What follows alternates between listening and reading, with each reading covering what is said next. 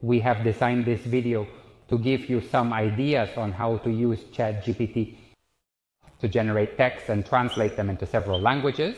It is intended to give you an idea. Call it an overview, a very general idea of what things can be done so that you can think and accomplish more. The first thing I want to say is that it is very important to keep in mind that everything that is uploaded to ChatGPT, ChatGPT can use it to improve its model. So you have to be careful if what we want to improve, what we want to create, has confidential information or has someone's personal data. Because that could cause a problem of leakage of personal data, in fact, or leakage of confidential information. As I was saying, in fact, there are some companies that have banned the use of ChatGPT to their employees because there have been leaks of confidential information. So before using the tool, make sure that there is no confidential information or data that cannot be shared. You can change it for something else, generate what you want, and recover it. Well, for doing that, I have here some ideas. For example, we are making a tourist web page about Valencia, and we want to make uh, descriptions of several of the attractions that Valencia has.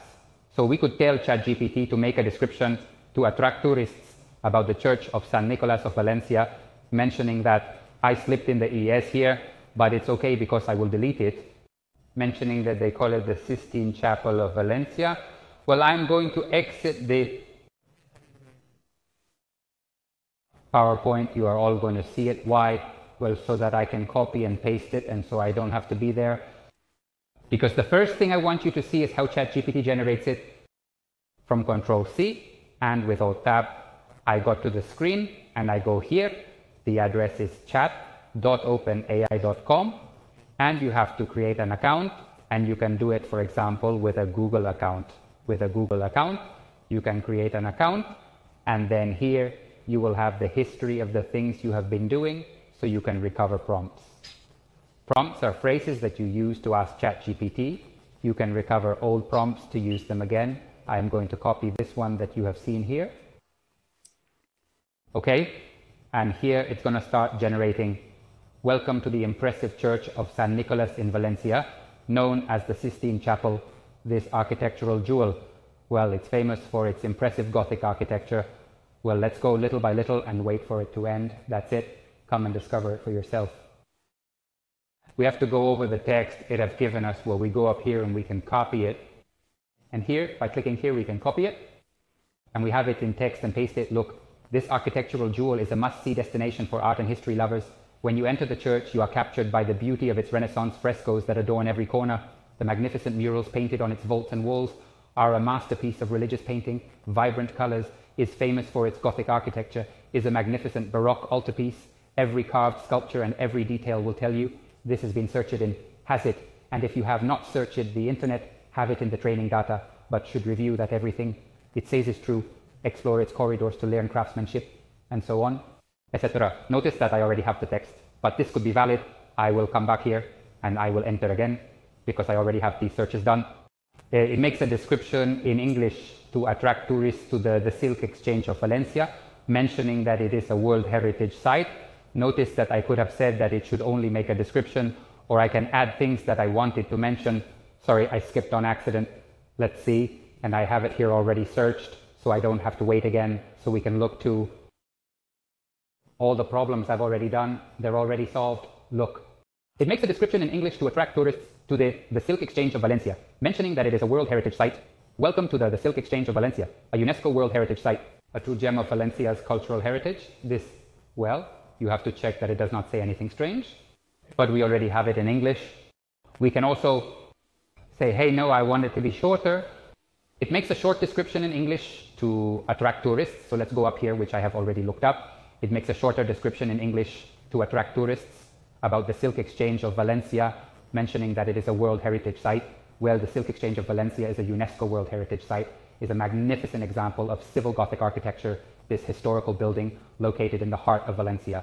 So as you see here, there's a smaller paragraph, okay? With this, we can make a website, and what happens is that we have some texts that we have already written in English for the website or else.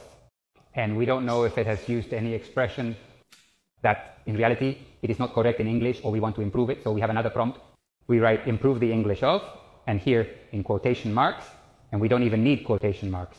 We put text to improve, the text to improve. I am going to show you some old ones that I have done around here. Okay, for example, this one, it is one about golf courses, improve the English of. And here I haven't put quotation marks. If you like to play golf, this is a text already written previously with its URL. And then here it tells us the improved text. Okay, we can see if it fits what we want, if it has changed some concept that we did not want, but in general, we can use it without any problem. But as we have this one, we have other previous texts of the same web. For example, this one about the biopark. Improve the English of biopark, etc. That was already written and revised. Well, let's see more things. Imagine that we want to make a specific post with a specific duration for another company. For a dentist blog, for example, so it writes a 200 words description about zygomatic dental implants. We put below, but I also have it already made here. I have an arrow to go to the end. And although it is not the last one I made, let's see. This one here. I specified the extension, that is 200 words. So now I paste it, go to Word, and now I have it here. I paste it with Control V, and I review it, and I ask the number of words it has. Notice that it says 292. Sometimes when you ask for something short, it does not make it as short as we will want, or the number of words or paragraphs aren't handled very well. But well, from here we could remove what we wanted or we could retry it. It is always interesting if we do not obtain exactly what we want, to be able to refine the prompt, the phrase that we give it, so that in the end it ends up giving us what we want. Another example. Here we already see how we ask it to adapt the tone, adapt how you write the answer, explain Ohm's law to a 15-year-old child. Okay, well, I have that here as well, so we do not have to wait. Explain Ohm's law to a 15-year-old. Of course, Ohm's law is a very important rule in electricity. It tells us how electric current works in a circuit, but don't worry, I can explain it to you in a very simple way. Imagine you have a train track and the trains are the electrons that carry electricity. Ohm's law tells us that the electric current of the trains is equal to the voltage difference, the force that pushes the trains divided by the resistance how difficult it is for the trains to move. Let's make an example, the battery. Well, we can do it without any problem, or for something else completely different. Make a letter in German. I do not have it copied, so I have to do it by hand. Make a letter in German, addressed to the German consulate in Valencia, asking for what are the formalities and what documentation is necessary to provide. I have not tried this one yet. Let's see what it says. I do not speak German very well either, so I will not be able to see if it is right or wrong. It is always good to know a little bit of what you are asking for to be able to check it. Okay, but if you know some German, you want to make this letter and you don't want to waste time, we go down here. It is regenerating. It has moved. Okay.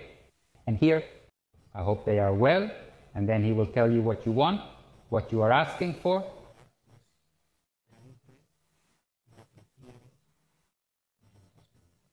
Okay, with friendly regards, so on. Then we copy and paste it. As you can see, we have a very powerful tool to generate text of any type in any language. And with the conditions we want, we can tell him to write it as if he were an expert or to write it for a child. Or if we don't like something, we can ask it to explain it more. Or if it explains it too much, we can ask it to explain it simpler. We can iterate on the concept. And as you have seen, to make a web, to make a blog post, to make a document, to improve the language of something you have written but not what a translator would do, which is to translate with the right words. But sometimes the translation is not entirely correct because we translate from Spanish to English and maybe some expressions aren't used in English or in German or we do not control very well said language. ChatGPT fixes it perfectly. With this we end the video where I have told you a series of prompts to generate text in different languages using ChatGPT.